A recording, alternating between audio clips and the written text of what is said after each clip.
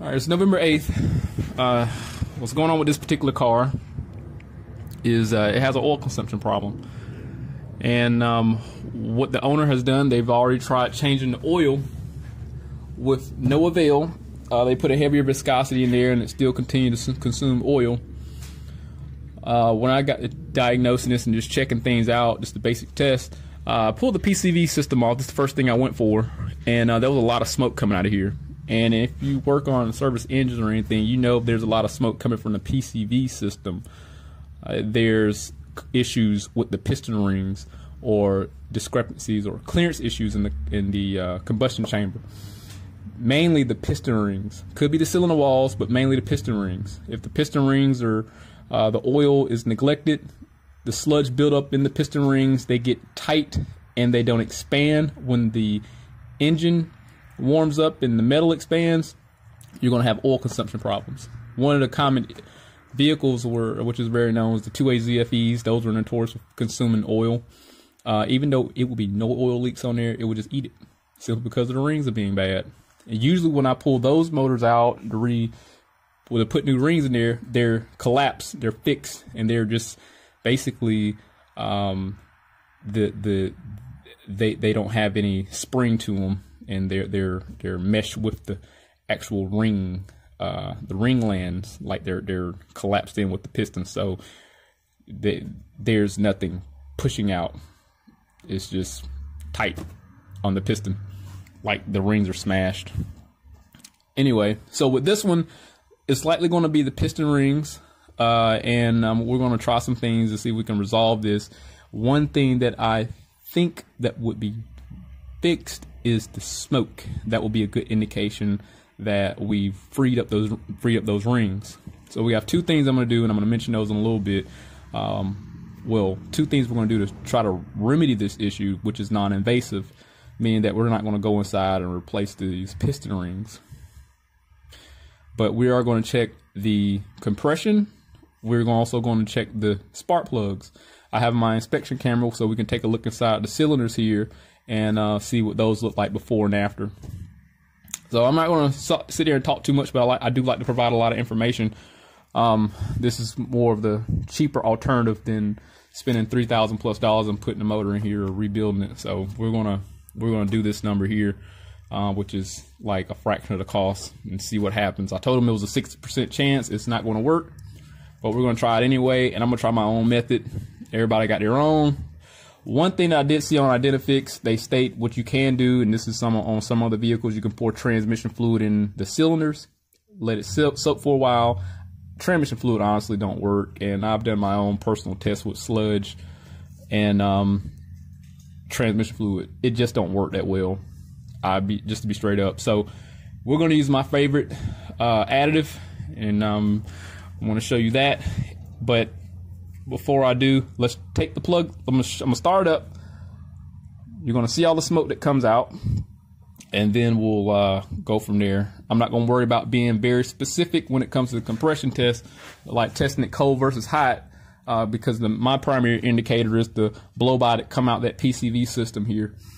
So let's uh, start up and uh, look at the blow by, and uh, let me show you the oil quality. This is this is what the oil looks like. I mean, this neglected. They didn't keep the oil change in there. So I'm pretty sure if I was to take the valve cover off, it's probably not going to look real pretty in there. So let's start it up um, and see what that's see what's going on. The smoke.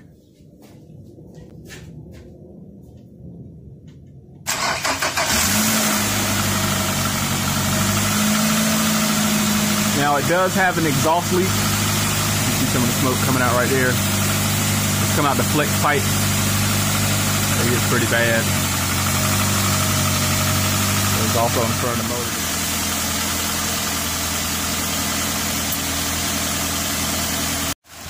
Right, after a while letting it run, uh, I had to, and there was quite a bit of smoke in there. Let me show you the smoke coming from the PCV. I think is stabilized. So we can see the smoke coming from there. And that's uh, after it warmed up a little bit. Whew. Again, I'm not saying it's to fix it, but we don't know. I don't know. Let me show you the codes that came up. This is, oh shoot, where'd it go? Where'd it go? This is the only code that came up. Sometimes uh, it's a P1148, which is a closed loop uh, bank one. I, would assume that's probably like O2 sensor related. Um, I, I, don't know.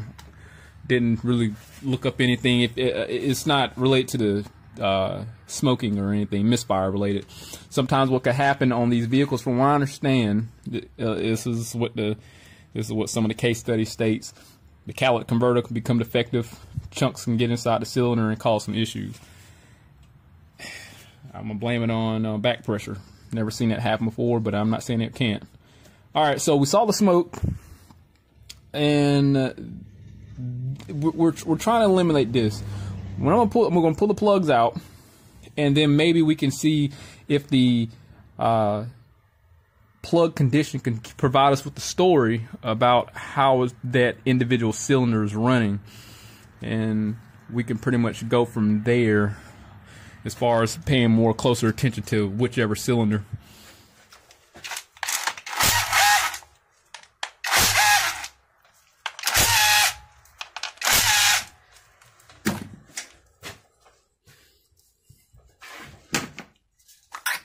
Gosh.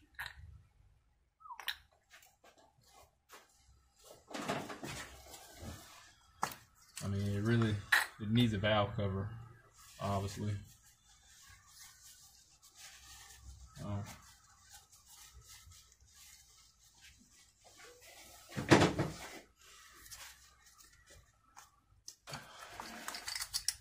Let's try. So it's probably what happened. Um, they put oil, spilled it in there, and that's why that one got wet. So that's probably that'll explain this cylinder. I want to try to get that oil out of number one because that's going to skew my readings when I pull the plug out. So let me suction that out and we'll go from there.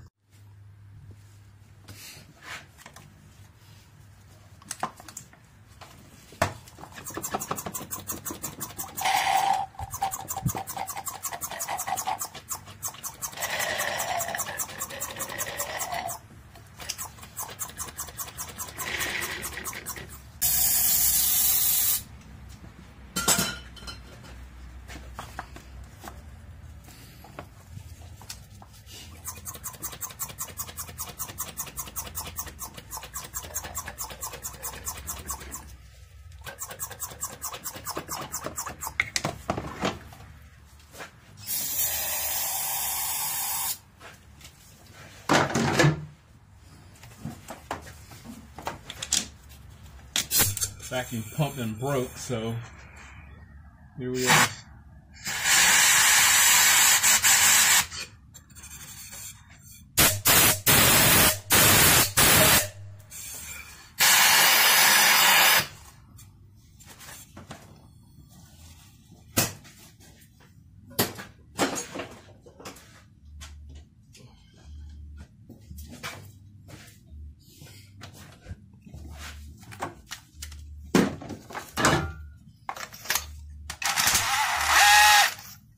loose. Probably tried changing the plug first.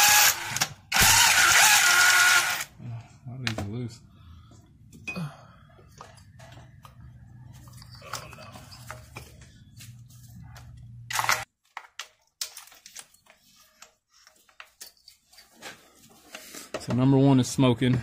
Cylinder is. Here is our spark plug. The little wetness that's on there, I mean, that's likely from the, the brake cleaner when I poured it in there to clean this out. It is fouled, so that is an indication that it's, it's uh, not running efficiently. Ideally, you want to see a white, I want to say like a mild white soot, the tan color like a reddish tint. We don't have that, but it's black. Black means foul.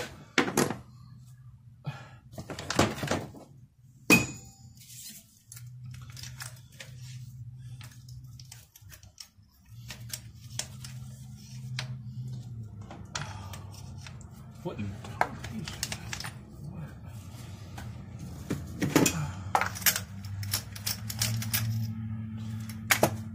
This do a good job of running these out. Same thing. This one's fouled. It's not bad. I mean, the, the ground isn't fouled out. The ground here, the top, the white part, that's not fouled out a whole lot. So I'll take three. This is fouled more. The difference you'll see when a vehicle is consuming oil in the combustion process, like through the piston, is going to be different from when you see them consuming oil pre uh, pre intake, like you know through the PCV system. That's what I mean. So this one definitely has oil inside of this plug here and it's deep in there so that's a good indication that this lightly number four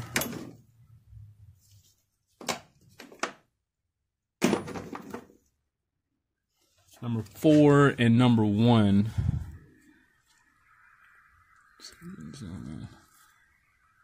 so if you look inside the whale there it's, that's one but again that fluid was from me this isn't from me, and that's that's in there. So lightly, uh, four is going to be a bigger problem than uh, all the other ones here.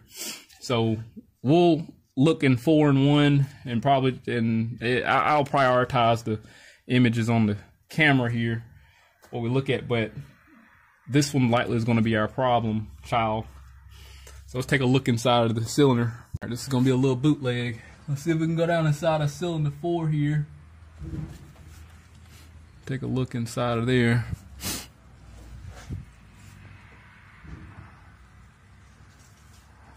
Not sure how well detailed y'all are able to see it, but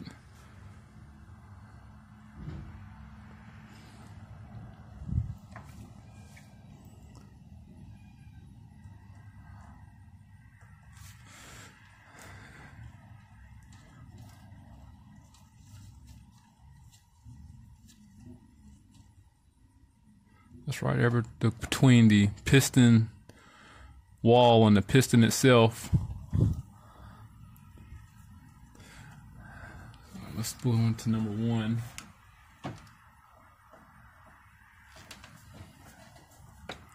Looks similar. This is cylinder one. This is smoking. And it could be because of the intake valve being open on number one, and it's probably the the smoke that's inside of the PCV going to the intake could be uh, going through or accumulating inside of the plenum, getting inside of there. So it could be that. But either way, uh, we're gonna.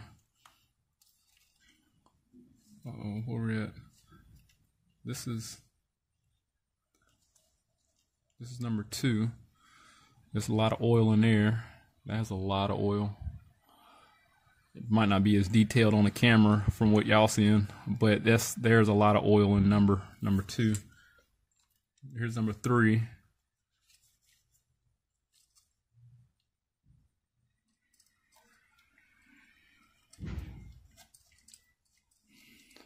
Number three also has a pool of oil in there and it's smoking. So all of them, all of them are smoking. Uh, so we're going to do this test with all of them. And um, hopefully we can hopefully we can fix it. Some would probably recommend putting sea foam in there. I mean, it's a possibility that it probably has oil inside of the plenum there, and it's eating the oil. But you know, I remove this breather here that goes directly into the plenum there, so you know, it shouldn't be smoking that bad, but it's probably some residual. Right, so the plan is to use transmission fluid, brake cleaner, and uh, paint thinner over there. Uh, so what I'm gonna do I'm to drain all the engine oil. I have about four quarts of uh, transmission fluid. I prefer to use like import fluid, but this is what I have. I bought that on like sale at O'Reilly, so I'd rather have something with a friction modifier in it. But this is what I got. So, drain the engine oil, pour the transmission fluid in there, fill that up, what four or five quarts. Let it run for an hour. I'm going to let it sit in a resting spot, pull the plugs out, pour lacquer thinner in the cylinders as a filler, and um, probably like a one to three ratio with brake cleaner inside the uh, chamber, and just let it sit.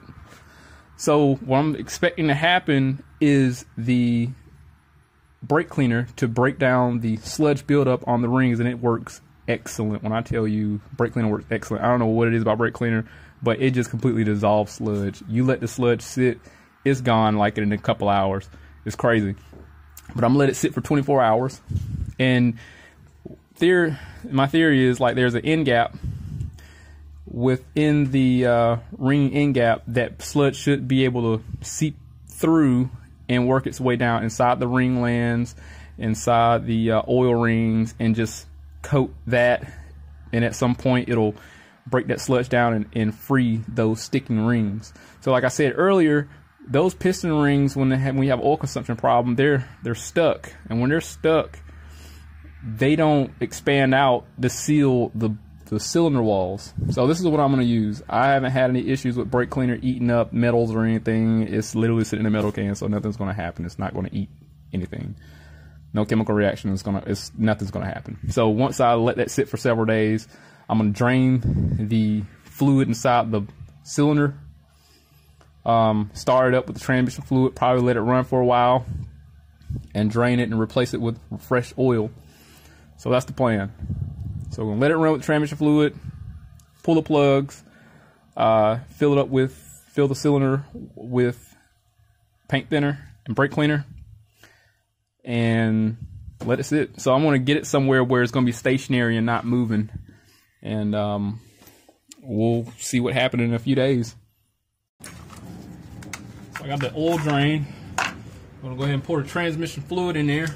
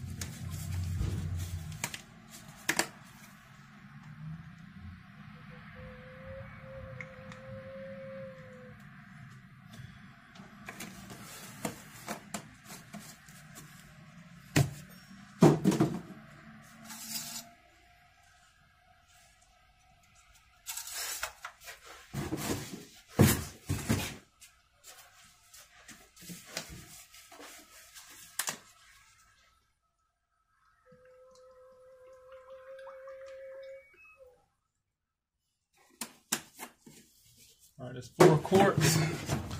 Let's see what we're looking like. So that's filled up. Um, I did do the compression test. We're going to do that right now. I know it wouldn't make sense because we do have the improper viscosity in there, but that shouldn't matter uh, for what we got going on. So.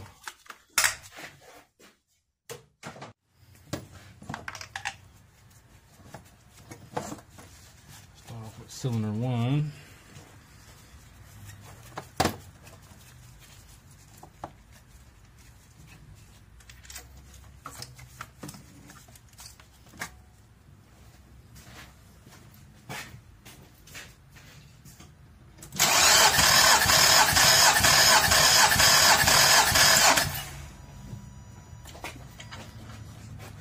So here's cylinder one.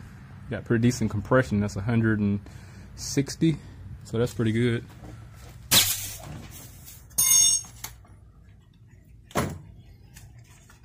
The engine sounds real strong when you turn it over. Sound like me, I didn't hear any drop offs in the cylinder pressure.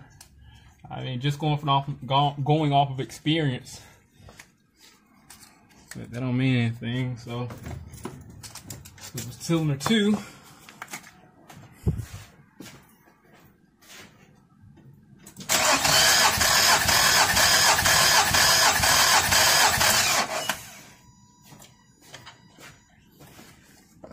Cylinder two, making about the same.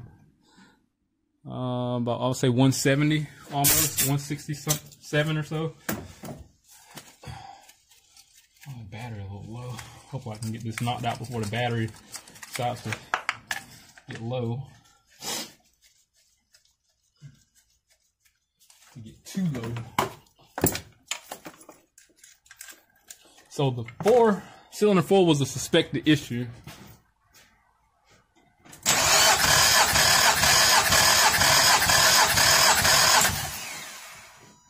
So here's cylinder three. Yep, all of them about the same. See what four is doing.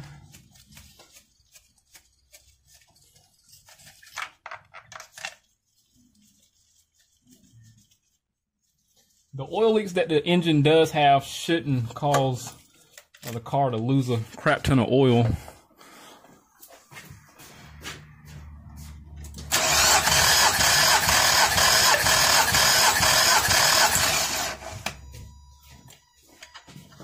Yeah, let's see what we got on cylinder four. That's a tad lower, nothing crazy. So all of them are around about 167, right under 170. So we're gonna um, so we have something to compare it to. I did clean the plugs on the wire wheel, so I don't know which one was what. So we got a fresh start. I took some brake cleaner, and went inside the uh, the plug well there, got those cleaned out so there's no oil. So we kind of got a fresh start. And looking at these plugs, they were replaced before. You know, you don't see any compression seeping through the porcelain here. A lot of times that's a good indication of the age of the plugs.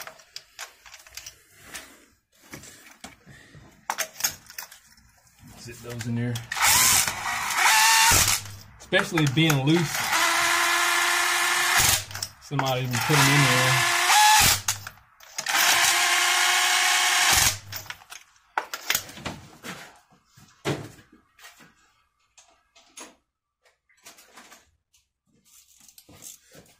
Knuckle busters.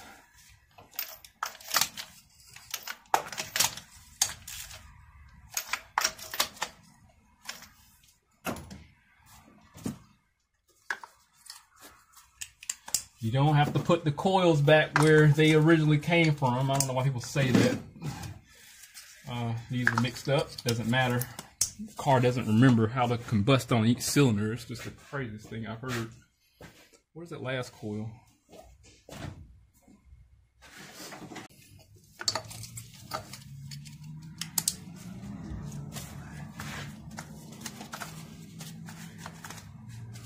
Let's start it up with the transmission fluid in there and see what it sounds like.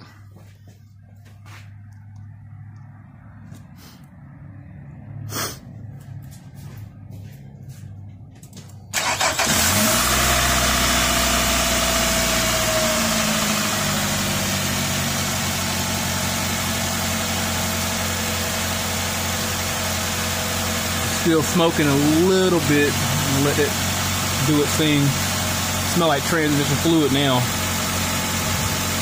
It don't smell like engine oil. The smoke don't.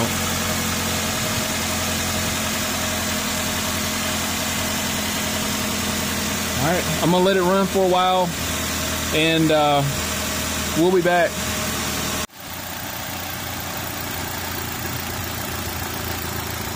Alright, car's been running for about 40 minutes.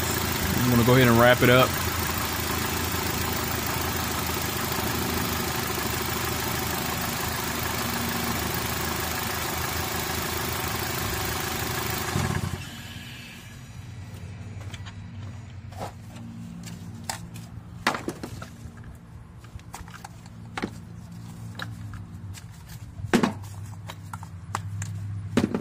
Like my footage of me pulling the plugs out. But two Plugs are already removed. Four and three are wet. Oh man, it's hot. Three. What is this? No, this is four and three. Two is dry. And then one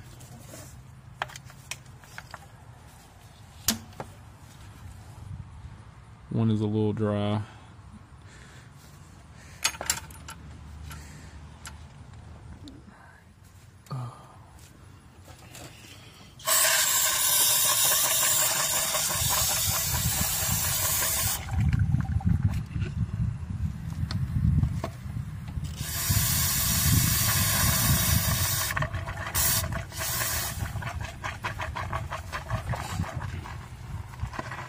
Stuff that was in there must have evaporated.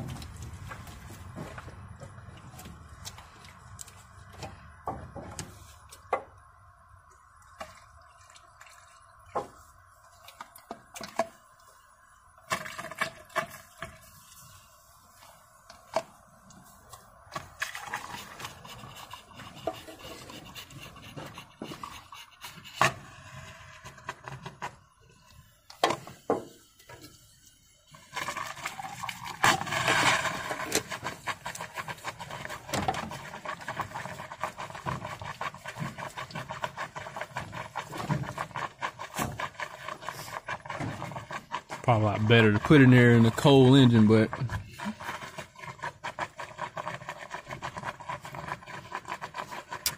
I had a bright idea to put it in a hot engine. All right, so I'm gonna let that sit there and soak. Come back and check it, make sure it hasn't evaporated, and if so, I'll just add some more in there, and uh, we'll just let this sit for a few days. So one cool thing I noticed when I was doing this uh, I had put the ignition coils back in there to prevent the fumes from escaping and losing the chemical inside the combustion chamber. And one of the things I noticed, there was smoke coming from the PCV. It's minuscule, but you can see it. So what it is, I'm like, well, you can use this to narrow down what cylinders causing the smoke or the pressure loss. So once I remove the coils, the cylinder that had the pressure build up,